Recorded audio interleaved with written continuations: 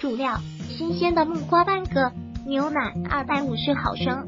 辅料：冰糖、新鲜的木瓜、牛奶、冰糖。将木瓜去皮、去籽，切小块，放入适量的清水，冰糖同木瓜块一同煮，至木瓜块煮熟，变色变成橘红色盛起，盛有木瓜的碗中倒入牛奶，搅拌即可食用。